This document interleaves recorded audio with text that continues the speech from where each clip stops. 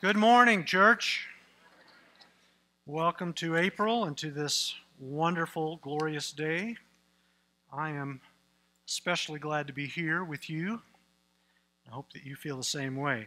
1 Corinthians 13 is one of the most familiar and beloved passages in the entire Bible, especially verses 4 to 7, the, the part about love is patient, love is kind, etc. And, and uh, there are many that think that may have, in fact, been a hymn of the early church. It, it's often titled the Love Chapter. And you've heard it, as I have, recited at weddings, uh, even at weddings by non Christians.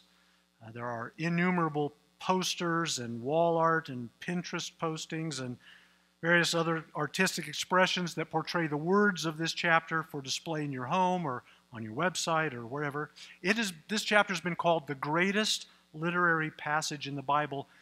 In fact, some have called it the greatest literary passage in all of Western civilization.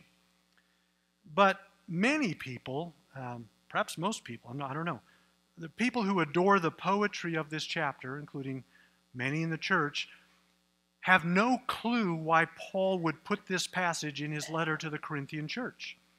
And they especially don't understand why it's placed where it is in this letter. More than a few biblical scholars have suggested that it's out of place, that it must have been moved from a different place in a manuscripts to its current location from where it was originally.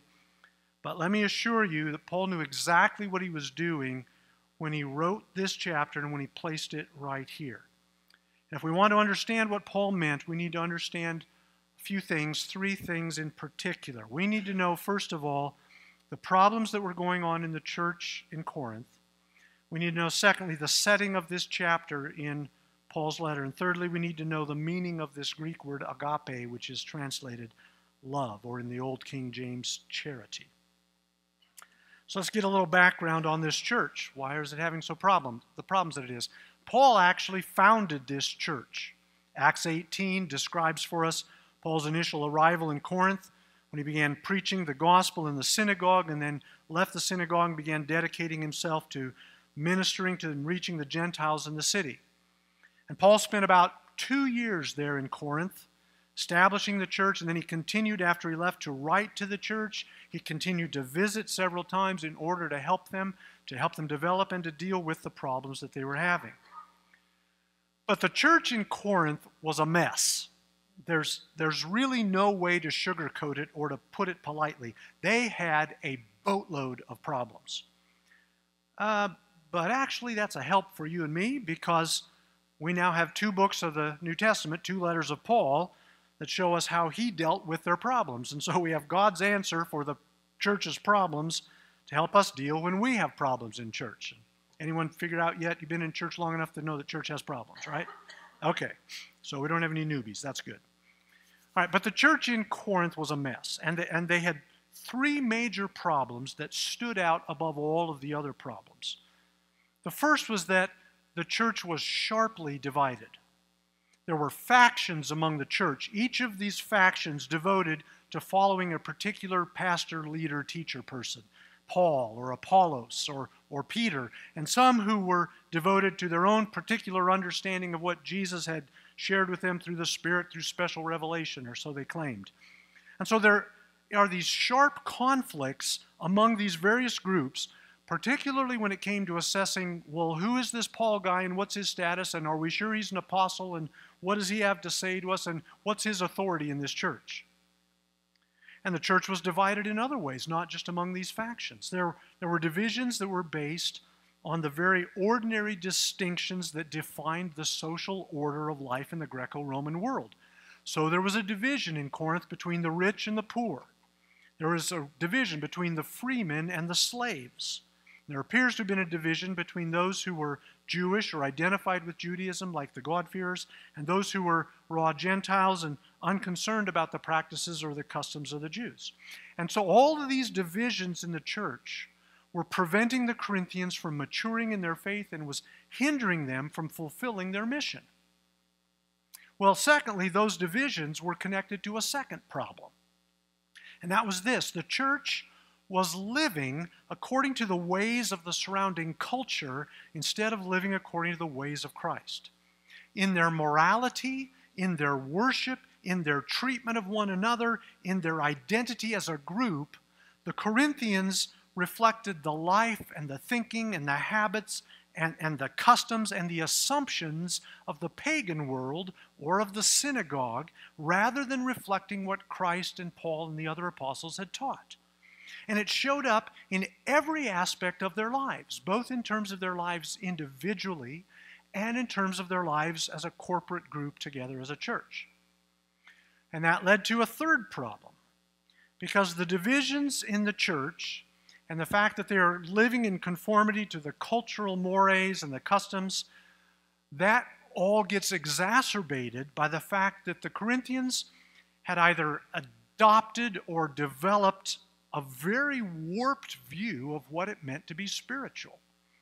And consequently, despite the fact that they had great spiritual gifts and they were a very gifted group, they, and they grasped some of the aspects of what it meant to follow Christ, their public worship was neither spiritual nor reflective of the presence of the living God among his people. It, it, was chaotic, it was disorderly, and it was marred by a total misunderstanding of the point of being Christians, of, of the point of being the church.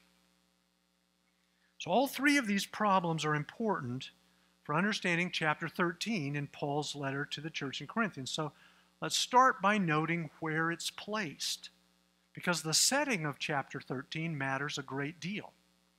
You see, in chapters 11 to 14, Paul is addressing the problems that are all associated with their public worship. Chapters 11 to 14 all deal with the main topic of the church at worship. And he is addressing problems that are coming up in their public worship. So he discusses a number of issues in these four chapters. He, he talks, for instance, about the, the importance of showing propriety and modesty in their dress. He commands them to make sure that make sure you're not flaunting your freedom in Christ in a way that's going to shock and scandalize people from outside, or for that matter, people in the church. Their worship, he says, their worship needs to be something that, that that isn't marked by disregard for common decency and isn't marked by a disregard for, for decorum. He also reminds them that when they take communion together, the presence of the Lord is there among them at, and, and in the church as a whole body, that there's a presence of God in their corporate coming together that's different just than his presence in them individually. And so when they take communion, they need to honor the Lord and his presence by recognizing that everyone who's here as part of the body belongs to the body of Christ. That all who belong to Christ are fundamentally equal, no matter what their social status is in the outside world. The outside world had a very sharply stratified cultural uh, uh, set of, of levels. You, you, if you were in one of those levels, you couldn't move up. And everything in life was determined by where you were in those levels. And, and Paul says the church doesn't live like that. The church can't live according to the social and the cultural barriers. They have to break through the habits, the presumptions that govern life in the world outside. And so the social distinctions, dis, excuse me, distinctions of class and race and status and family, whatever else would mark someone in the wider culture, all of that had to be discarded in order to recognize their fundamental equality and their union as fellow members of the body of Christ. And then Paul insists that these gifts of the Holy Spirit that are distributed among the church, they have a very singular purpose. And that purpose is to build up the whole body so that everyone is helped to grow spiritually. And the ways in which the Holy Spirit manifests the power of God and the presence of God and the way He speaks to His people, these are always intended to strengthen the body as a whole, not to elevate one individual, not to elevate a faction in the church. And Paul, fourthly, he, he insists the church has to recognize that there's diversity in its members. He says if, if the whole body's an eye, how are you going to hear anything? And so, all the ways in which each member is different from the others, this is our diversity, and that's a reminder that each member is important, that each member has something to contribute, that each member is needed, and that what each one contributes matters for the health and the overall well being of the entire church. So, though we are different, we are united in this. As we follow Jesus together, as we acknowledge His Lordship over us, His Spirit is building us into a dwelling place for the Spirit of God, for the presence of God. And everything that we do matters. So, in this extended four chapters section, is dealing with the Corinthians with their public worship. Paul inserts this marvelous little chapter to point out what he calls a more excellent way the way of agape, the way of love. And it is this way that's going to solve all of these problems that the Corinthians were having. The way that the church needed to follow, instead of following the cultural trends, instead of following their own personal preferences and their own personal desires. So, what is agape? Now, you may have heard this before, but let me just repeat it. The Greek language, different than English, had four different distinct terms for describing four different kinds of love. The first is eros. Eros is sexual or romantic love. It's love that was characterized by desire, by the desire to obtain pleasure or to obtain or someone else. Uh, storge is the second uh, word, and storge is familial love, the kind of a love that a parent has for a child, family members for one another. The third word was philos, and philos was brotherly love, the kind of close affection that's shared by friends who have common interests and, and uh, common affection for one another and for the things that they do. The fourth term, agape, is actually a word that was not used very much before the Christian era. Um, but it became the special term that Christians used to talk about love that they had experienced. It was their characteristic word. So, for instance, in the New Testament, we never see the words eros or storge. There are a couple of words that are the opposite of storge. We, we see philos a number of times, but agape is the predominant word that's used more than any other word for love in the New Testament. Now, in its ordinary usage, that is pre Christian or outside the church, agape describes a love that's characterized by choice.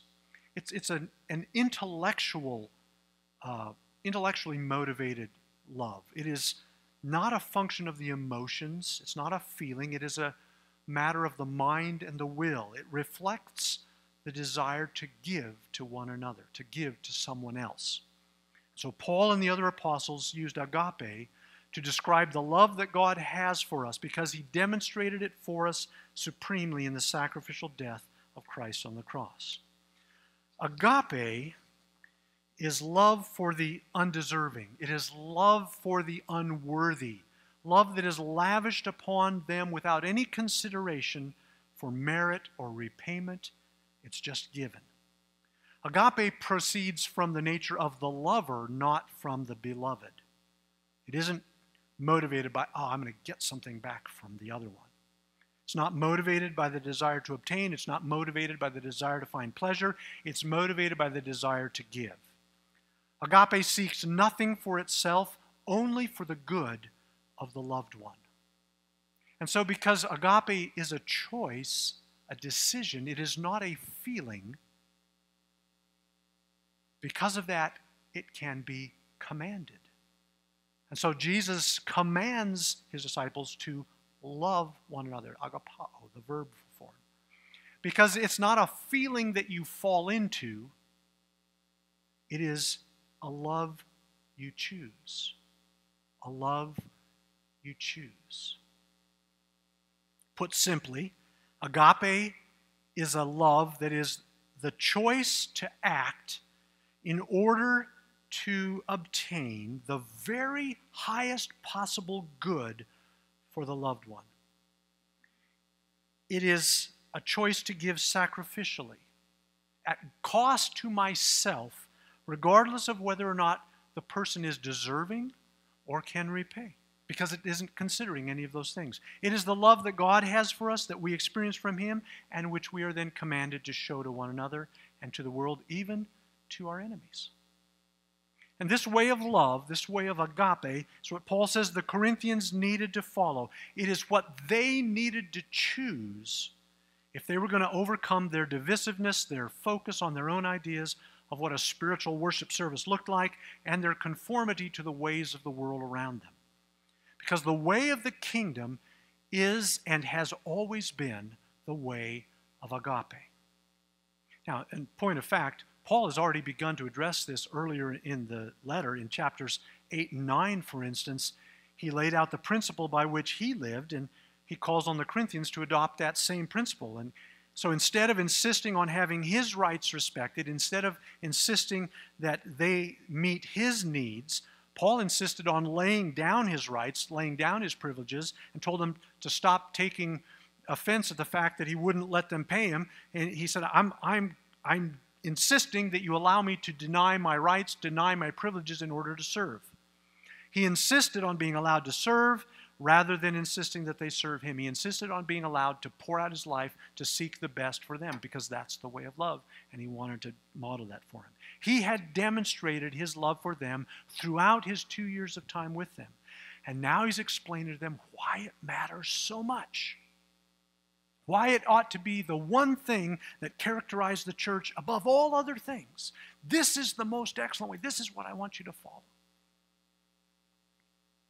Now, just a few verses before Paul started chapter 13, he, makes a very remarkable statement. A statement that's crucial for us to understand as we think about what the church ought to look like in this way of agape. Because in chapter 12, 24, last half of 24 to 27, we read these words. He's at the end of his talking about how God has, has uh, arranged the members of the body. He says, But God has put the body together, giving greater honor to the parts that lacked it, so that there should be no division in the body, but that its parts should have equal concern for each other. If one part suffers, every part suffers with it. If one part is honored, every part rejoices with it. Now you are the body of Christ, and each one of you is a part of it. Now, we usually read that passage and we think, okay, we're supposed to care for those who are suffering as if we were suffering right along with them. And, and, that's a fair way to read that text. Paul specifically mentions the need to be concerned for one another, so that would follow. But I think Paul also has a deeper point to make, one that's based on a deeper understanding of what it means to be part of the body of Christ.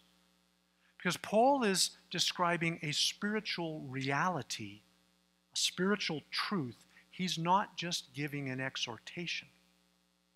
I discovered this after years of thinking about the suffering church around the world. And the point is actually quite simple, but it's quite profound.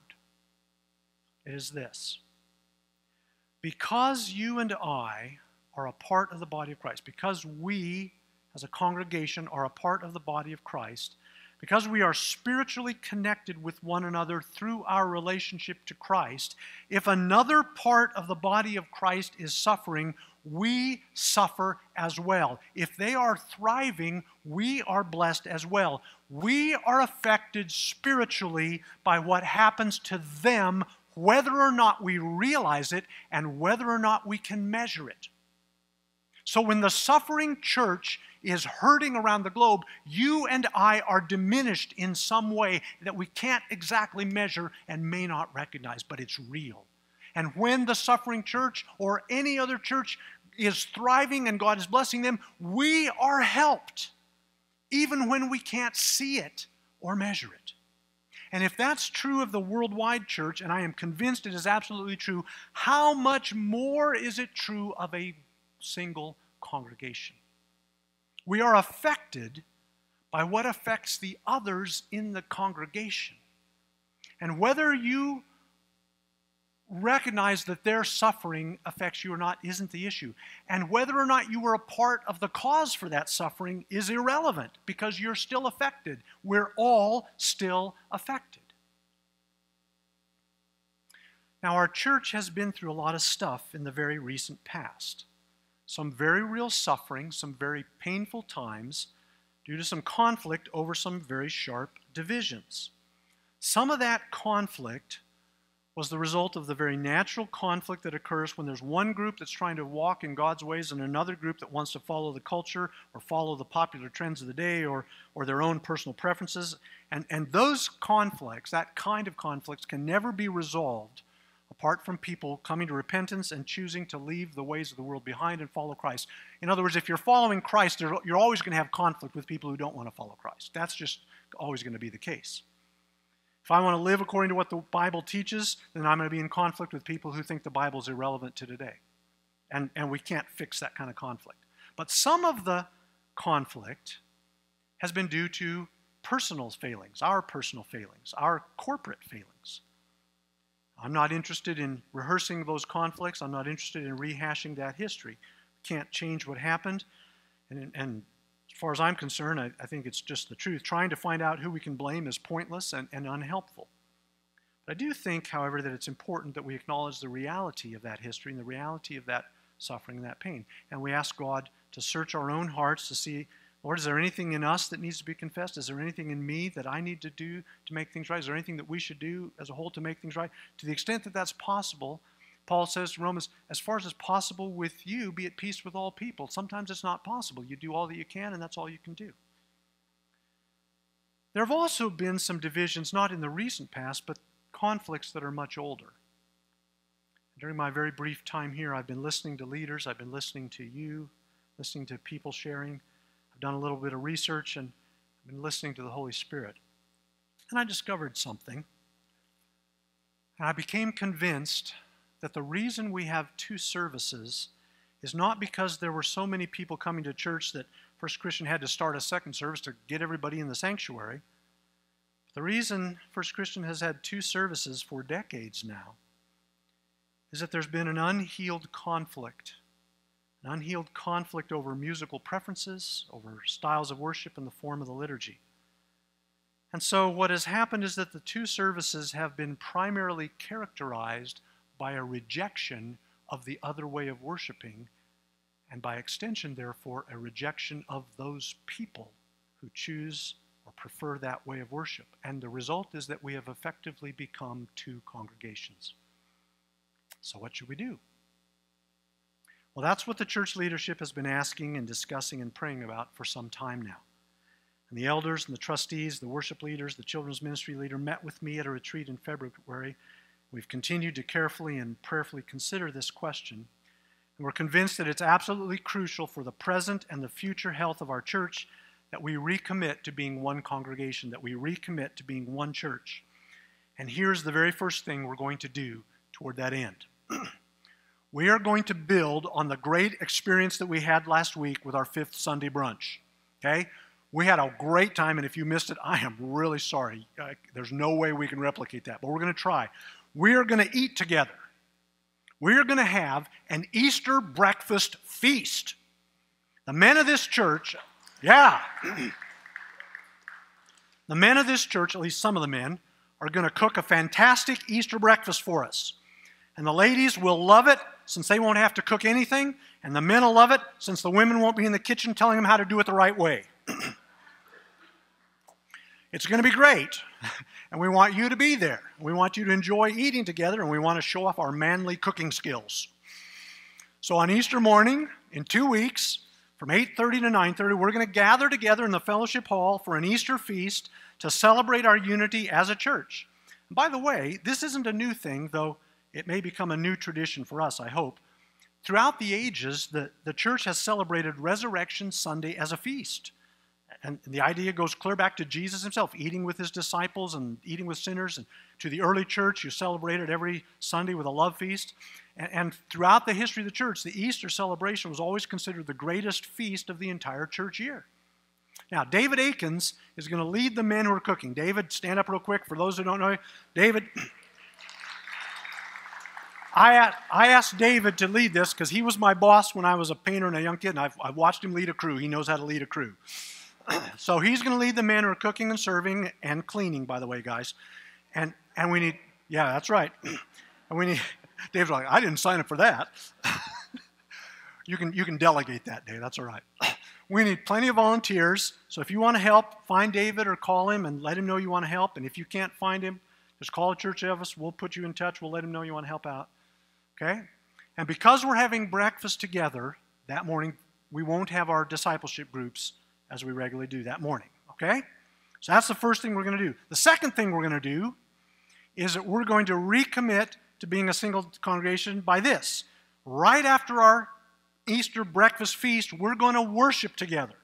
We're going to go straight from fellowship and feasting to worship. So from 9:45 to 11 o'clock on Easter morning, we're going to have a single combined worship service to celebrate Resurrection Sunday. And we're going to take the best of both services and we're going to blend them together into a worship service that expresses as best we know how what a united church's worship looks like. We'll have special music, including some traditional FCC pieces that you're going to love, some newer songs, a blend of contemporary and traditional styles of music, literature. We are going to celebrate the resurrection of Jesus Christ and the resurrection of First Christian Church as a single congregation.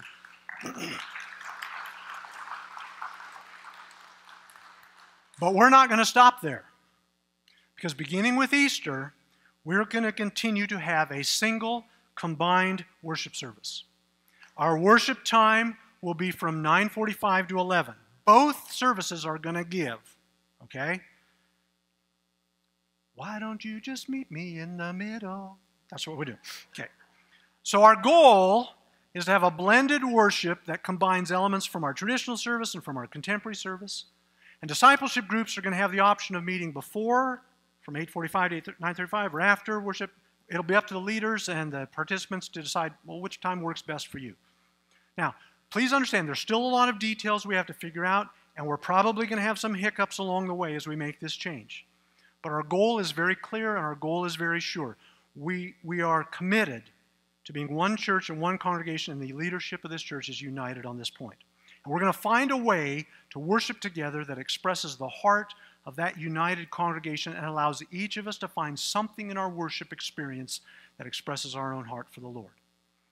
So I've invited two of our leaders this morning to come and share a bit more about this transition, to let you hear from their heart, their thoughts, their convictions about the process and the decision to make this change. And then next week, there's going to be a little bit more sharing so that you can hear from more than one voice what we believe we've heard from God. So, Dennis uh, Hayward, where are you? Come on up. Dennis is going to go first, and then Judy Chadwick's going to share, and I'll have a couple final thoughts right at the end.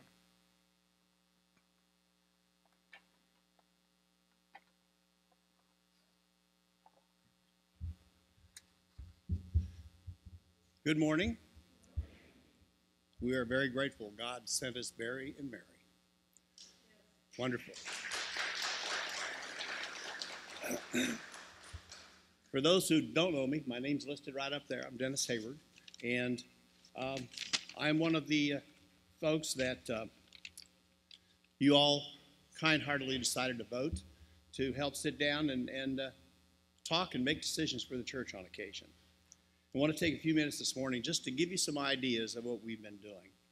But I think first, and more importantly, is to thank all of you for your patience.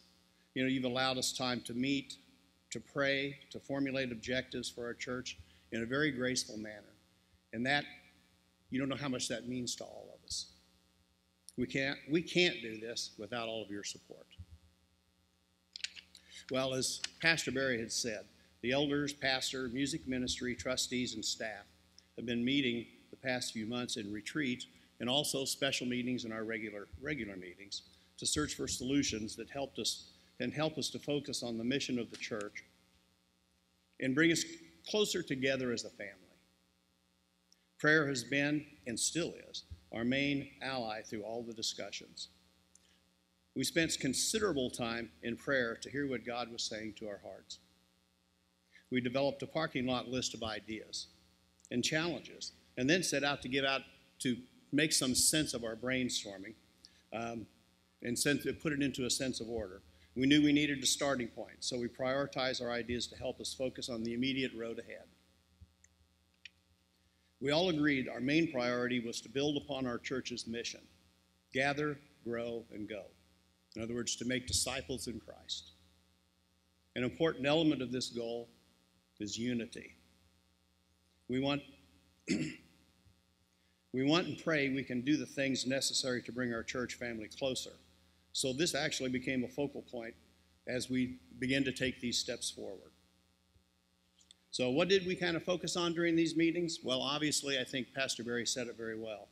Our, we, we had discussions for maintaining the status quo. Do we just want to continue going down the same road that we were going, or do we want to consider consolidating services? And we thought by consolidation, we were going to help meet the, meet the objectives that we had just mentioned before. We knew we'd have to work and make decisions from limited resources, so our idea was to do our planning with positive spirit in gratitude for what He has provided. A promise to all of you we will manage our resources closely and operate as efficiently as possible and still accomplish the goals of FCC with all of your help. Prayerful evenings were spent in lively discussion of worship service times. I'm sure you would have liked to have been there. Bible study groups, fellowship time, worship service music type and styles, childcare, among numerous other things, with a focus on ways to enhance our relationships rather than create the bridge rather than trying to divide. All our ideas were fleshed out, both pro and con, and we gave equal time to prayer, asking for support and answers. With God's help, our prayers were answered. The unanimous decision was made to combine the services. We trust this step will help bring us closer together. Now, on a personal note here, too, I had to continually remind myself that fear can be twofold, and I need to be diligent in acknowledging the difference in the two types of fear. The first is God given, and it helps protect me. The second, the spirit of fear, is from Satan and is designed to place me in spiritual bondage, not allowing me to hear the full word of God. I do not want to hear, I do not want to fear a, a change to be the cause of my inaction or on my part. And I'm very excited to move forward. Paul says in 2 Timothy 1 7, For God gave us a spirit, not of fear, but of power, and love and self control. We need to listen to our hearts, be humble, and stay together during all of our times, whether they be up or they be down. Isaiah in chapter 26, verses 3 and 4. You keep him in perfect peace, whose mind is stayed on you, because he trusts in you. Trust in the Lord forever, for the Lord God is an everlasting rock. I feel very positive about the decisions that we've made and hopefully brought forward and can uh, bring us closer together. And with that, uh, I'll close. Thank you, Dennis. Judy?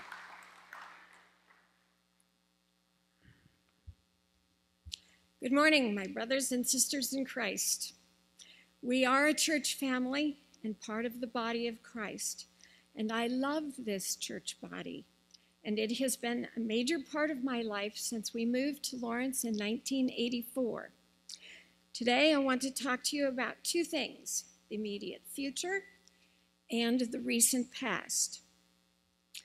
Over the years, I've been able to use my musical talents in various ways here at First Christian, but my role for the past one and a half years has been to plan and play for the traditional service each week.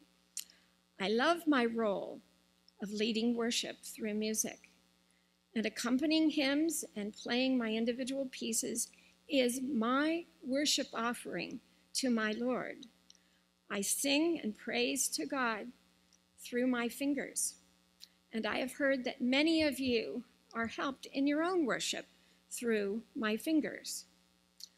I'm comfortable with my role, but now for the good of the whole church family, God is asking me to be more of a team player. Both Greg and I will now uh, collaborate on putting together our one unified service. I admit that there are many unknowns, and there will be new challenges for me to use skills that I've not needed to use for the recent past. Greg and Pastor Barry and I have been talking much about this goal of one unified service which will help us all to worship together. I feel that it is an exciting time in the life of our church, and change, as Dennis pointed out, can be fearful, but change can also bring new life and enthusiasm. What do we need from you? a willingness to change a little bit, like an hour and a quarter service. That's not a bad change, is it? Patience while we try different ideas, like more congregational participation, and encouragement and support for our efforts to minister to all of our church family through additional musical styles. I ask you to trust Greg, who is a godly man and a very, very fine musician, with, with a wealth of musical background and leadership experiences. I look forward to working closely with him and learning from him. I ask you to trust Pastor Barry, whom I see as a gift from God for this congregation.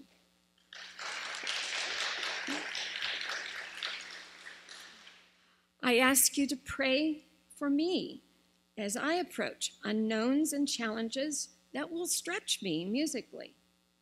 And pray for the leaders, the elders who oversee this wonderful family of believers and completely support who completely support the need of our coming together in one worship service.